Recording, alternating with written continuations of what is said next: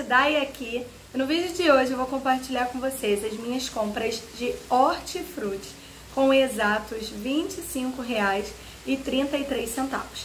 Eu vou ir tirando aqui da sacola as minhas compras, apresentando para vocês tudo que eu comprei, ou melhor, mostrando. Ao final, compartilho o cupom fiscal e também vou ir arrumando e mostrar para vocês o que eu já tenho. Muitas pessoas perguntam assim, Dai, você costuma fazer compra é, de hortifruti? Como? Então, gente, eu faço geralmente ou toda semana, final de semana, ou a cada 15 dias. Porque existem compras que acabam durando mais do que o esperado. Então, enquanto eu ainda tenho alimento, eu acabo não indo comprar. Porque é aquilo que eu já conversei com vocês. Desperdício também faz a gente ter gasto, ter despesa. Porque todas as vezes que nós descartamos um alimento, claro que ninguém vai consumir algo que está ruim, mas é como se a gente estivesse jogando nosso tempo e dinheiro no lixo. Então, para evitar esse tipo de descarte, eu opto sempre por consumir tudo que eu ainda tenho em casa e só então eu compro é, mais.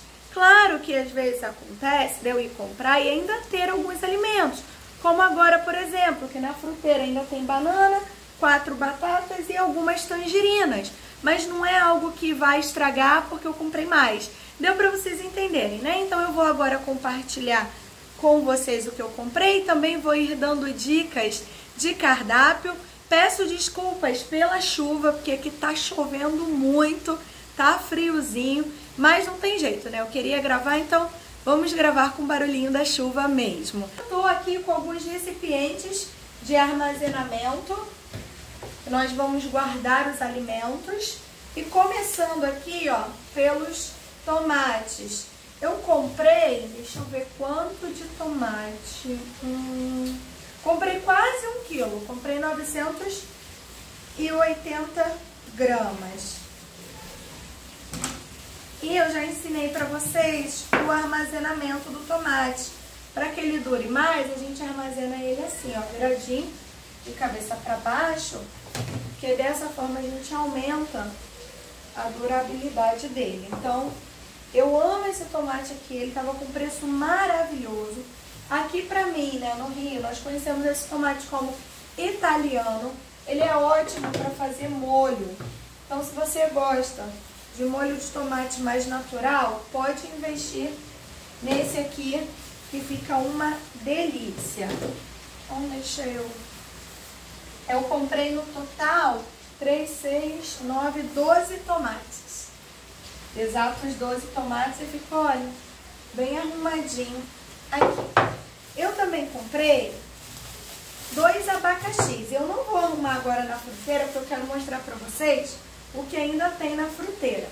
Gente, eu tenho um problema grave assim no estômago, eu tenho gastrite. E ultimamente, todas as vezes que eu consumo o abacaxi fruta, a minha boca tem ficado cheia de afta. Então eu comprei esses abacaxis, um para fazer suco e o outro para fazer farofa de abacaxi com bacon. Eu não vou cortar a fruta, porque eu acabo comendo e com isso eu fico com a boca toda ferida. Aqui em casa, ninguém tem preferência por comer a fruta, sabe? Se eu faço suco, todo mundo consome. Se eu faço farofa, também. Então, não tem problema deixá-los para essas finalidades. Eu também comprei cenouras.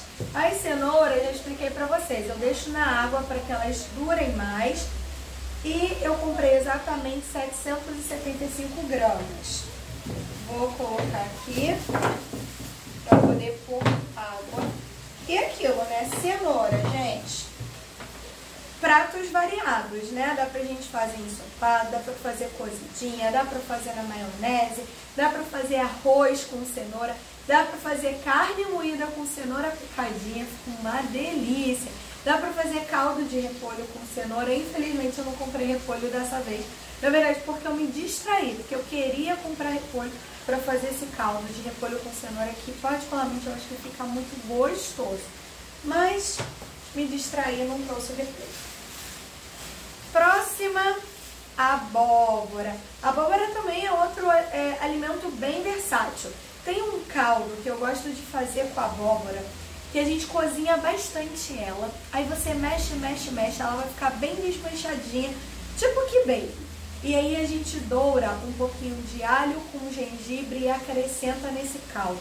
Gente, se você não tiver alergia a gengibre, você vai amar. Mas não exagerando o gengibre, porque senão vai ficar picante demais. Agora, se você colocar, dosar o gengibre, gente, esse caldo é uma maravilha. Se quiser, pode acrescentar uns pedacinhos de bacon também, que fica muito gostoso. Outra alternativa de cozimento da abóbora é a famosa carne seca. Quem não gosta de carne seca com abóbora, não é verdade? E a gente também consegue fazer abóbora com camarão, que também fica uma delícia. Então a abóbora fica a critério de vocês. Dá para cozinhar também no vapor, comer como legume, um azeitezinho em cima, sal. Gente, fica uma delícia. Eu particularmente gosto muito de abóbora. Em pensar que quando eu era criança, um dos poucos alimentos assim que eu tinha resistência para comer era abóbora. Vocês acreditam? E hoje eu amo abóbora. Eu acho que realmente quando a gente é criança a gente tem um paladar, né? E quando cresce o paladar fica diferente. É, também comprei cebola. Cebola foi só complemento, porque eu tenho um pouco, eu tenho um pouco não, tenho bastante, gente. Ali eu vou até mostrar pra vocês, mas eu comprei para aproveitar o preço, porque tava R$1,99 e eu não ia perder a oportunidade. Afinal, cebola, né, nós usamos para tudo. Desde o preparo de arroz, a molhos, a refogados, a carne acebolada, enfim, frango acebolado. Eu gosto muito de filé de frango acebolado. Nossa, fica muito gostoso. Aí vocês experimentem fazer aí na casa de vocês. Também comprei manga. Essa manga que eu comprei, eu não sei como ela é conhecida na região de vocês, mas aqui no Rio a gente chama ela de manga espada. Ela tem esse formatozinho aqui e ela é bem macia, bem molinha. Então ela, a finalidade da compra foi realmente servir como sobremesa, né? Para que a gente coma, tenha a nossa refeição e então é, possamos comer manga. Eu não trouxe muitas, eu trouxe apenas quatro, porque as que estavam lá, elas estavam maduras demais, estavam muito moles. E aí eu acabei preferindo é, por comprar apenas quatro unidades, que eu trouxe uma para cada. Uma para mim, uma para Rodrigo, uma para minha mãe, uma para Cecília porque todo mundo aqui em casa gosta de manga. Eu também gosto de comprar aquela manga palmer e tem uma outra tome, mas ela é melhor para fazer suco ou para fazer salada. Aquela manga com salada de alface, gente, fica muito gostosa. Continuando as compras, comprei um alface que é um dos meus favoritos, que é o alface americano. Já falei pra vocês sobre ele, né? Ele é aquele que faz crack no dente, que tem no McDonald's, nessas lanchonetes famosas. É esse alface aqui que vem. E eu comprei porque ele tava com preço muito bom, porque eu gosto muito dele. Ele tava a R$1,99. Continuando as compras. Sabe, eu fiz as compras mesmo, gente, no sacolão. Eu trouxe couve. Couve dispensa comentário, né? Com relação à sugestão de cardápio. Mas eu vou falar duas formas para vocês que eu gosto muito de preparar a couve. A primeira é ela refogadinha mesmo, né? Corta bem pequenininho, bem fininho. Refoga com cebola, se quiser pode pôr um pedacinho de bacon, linguiça, fica uma delícia. Eu costumo, quando faço ela refogada dessa forma, separar uma parte para fazer farofa, porque me lembra muito a época da escola. Não sei se na região que vocês moram, né, moravam, enfim, estudaram, as merendeiras também faziam é, farofa de couve, gente, é gostoso, né? Aí eu sempre faço. Também dá pra gente fazer ela picadinha assim com angu ou ela rasgada, sabe? A gente pega a folha assim, rasga e cozinha com milho e frango ensopado. Gente, fica delicioso. E também tava com preço muito bom. Eu vou mostrar o que pra vocês no final, tá?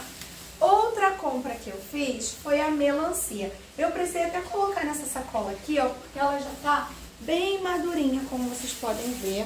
Deixa eu tirar aqui. E ela eu comprei para fazer suco. E eu vou fazer o suco hoje ainda. Também comprei um mamão. Esse aqui é aquele mamão formosa. E também vai servir como sobremesa.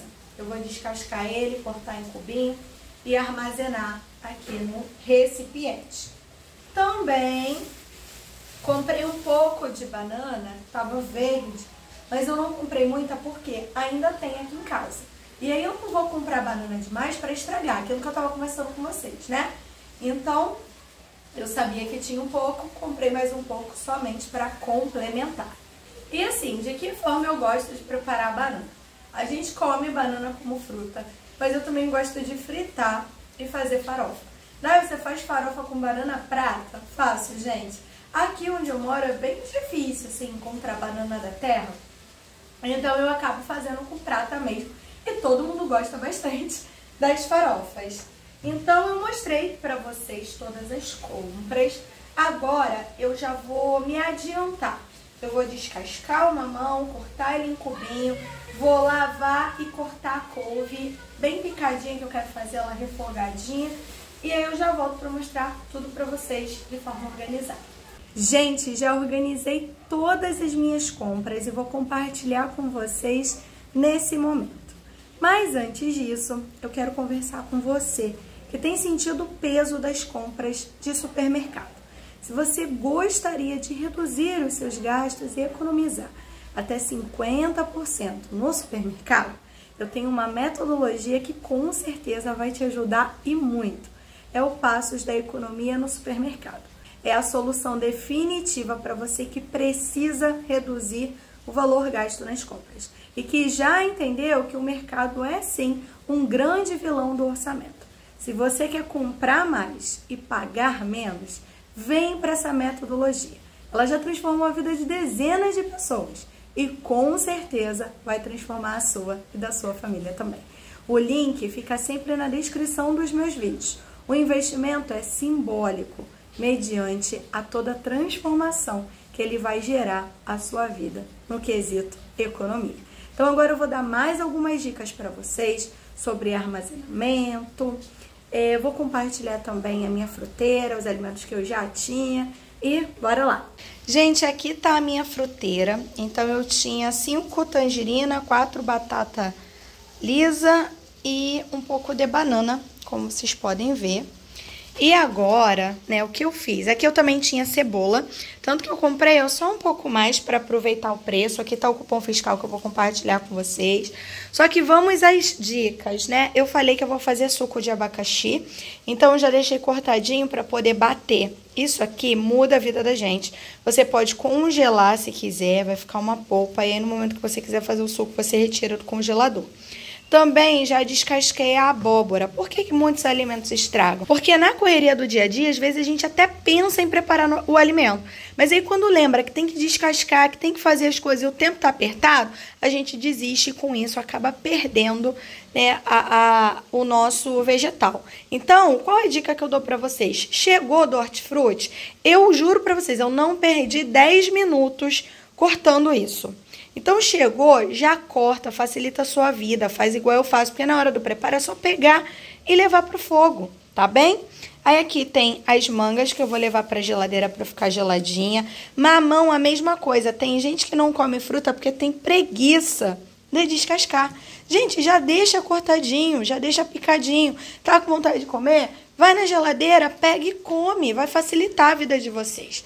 Aqui tá a melancia, que eu vou bater para poder fazer suco, cenoura, que eu coloquei na água para conservar, já ensinei para vocês, os tomates vão para geladeira, e aqui a couve. A couve é a mesma coisa, eu tô com vontade de preparar, já tá pronta. Eu pego, refogo a cebola, um pedacinho de linguiça, jogo na panela. Pronto, facilitou a minha vida. Esse abacaxi, ele vai para fruteira, porque eu não sei né? Quando eu vou fazer a farofa de abacaxi com bacon. Não sei se eu vou fazer amanhã, se eu vou fazer segunda. Então eu vou deixar ele aqui. Eu não quis cortar, não. Mas esse aqui, como eu vou fazer suco, eu já aproveitei para deixar cortadinho. E a alface também. Eu não limpei ela porque hoje nós não vamos comer. Então vou deixá-la assim, guardadinha na, no saco plástico. Mas a gente tem que consumir, né? Não são alimentos que a gente pode deixar por muito tempo. É, e agora, trazendo o cupom fiscal para vocês. Vamos lá. Banana estava R$3,99 o quilo, eu gastei R$2,77. Couve R$ real. Abóbora estava R$1,99 o quilo, eu gastei R$2,54.